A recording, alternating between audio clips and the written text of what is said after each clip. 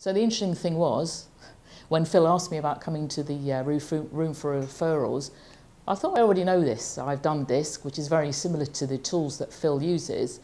And I was really taken aback because uh, you can forget these things, you can go back to old habits.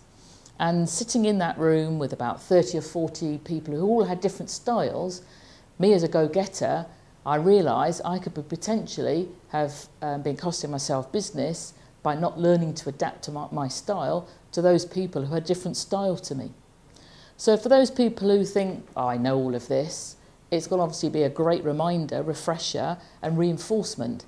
But for those who this is a really new uh, concept to them, boy, you're going to learn. And from that learning, you can then adapt, build and forge better relationships and close more deals.